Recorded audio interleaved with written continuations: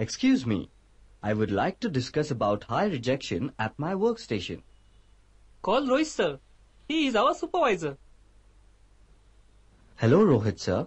I would like to discuss about high rejection on my workstation which machines drive shafts. Okay, Ashok, I will come there within five minutes. Hi, Ashok. How are you? And how is your workstation functioning? Hi Rohit sir. I am not fine as my workstation is not producing parts the way it should. It is making defective parts. The rejection has gone up significantly in the last six days. And this is worrying me since I do not know exactly how to reduce this rejection. This is a very serious matter and should be attended to immediately. But not to worry. We have many quality tools to help us. We should apply the necessary quality tools to solve your problem of high rejection. And for this, the first and foremost step is to gather data. Now, have you collected any information on the defective parts generated in the last six days?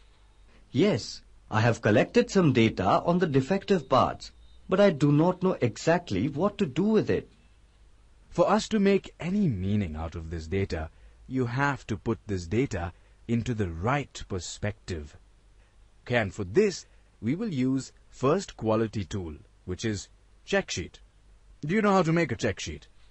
I am not quite aware of how to make a check sheet, but I can do it if you guide me.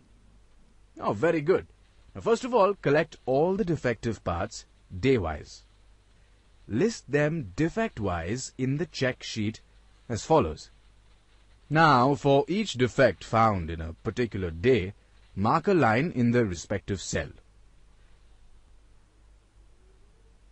Hope I've made myself clear as to what you should do. Yes, sir. I have understood what needs to be done. I will complete this exercise immediately and get back to you.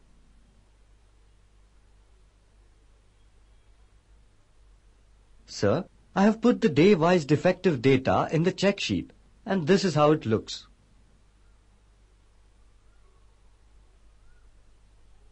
Very good. So you now know how to make a check sheet.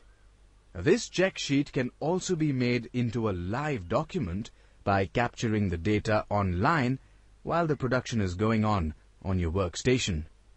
Now, if you look at this same data after putting it in a check sheet, you can see that